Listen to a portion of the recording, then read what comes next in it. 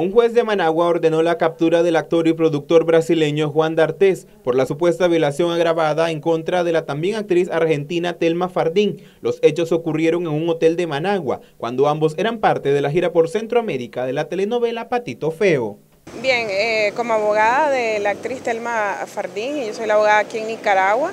eh, efectivamente, pues hemos tenido conocimiento de que el juez eh, que tiene radicada la causa, el juez de Distrito Penal de Audiencias de Managua, eh, emitió una orden de captura internacional y una alerta a través de Interpol para que el acusado pues, sea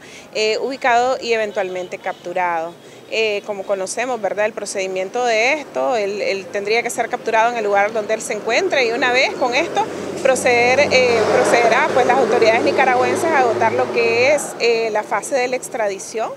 que independientemente cuál vaya a ser el resultado al Brasil no tener, eh, tener el principio de, no entrega de sus nacionales, pues eh, eventualmente va a ser un, resultado de rechazo, pero existe lo que es un convenio de asistencia mutua y bajo lo que establecen pues la mayoría de los códigos penales de la región, eh, existe lo que es el principio personal en los códigos penales, es decir, que las diligencias que hayan sido investigadas y además de eso fueron acusadas aquí en Nicaragua, pueden ser trasladadas a Brasil y el acusado pues puede ser eh, formalizado todo el proceso en, en Brasil. La abogada de Fardín, Eileen Cruz, explicó que probablemente el proceso judicial contra D'Artés no se realice en Managua y se radique en Brasil, país donde reside el acusado. Muy probablemente él no vaya a venir a Nicaragua teniendo conocimiento de que existe esa orden de captura. Además es una orden de captura internacional que puede ser capturada donde él se encuentre. Eh, eso habría que ver la estrategia que su defensa eh, esté llevando a cabo. Pero eh, lo que sí, en, nombre y en representación de la víctima, pues ella lo que procura es que se